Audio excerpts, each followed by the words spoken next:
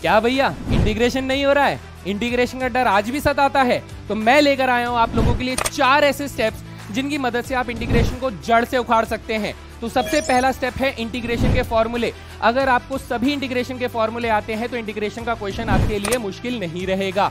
दूसरा स्टेप आपको करने हैं सब्सटीट्यूशन मेथड की बहुत अच्छे से प्रैक्टिस क्योंकि मोस्टली फॉर्म्स जो है, वो इंटीग्रेशन के सब्सटीट्यूशन मेथड के ऊपर डिपेंडेंट रहता है।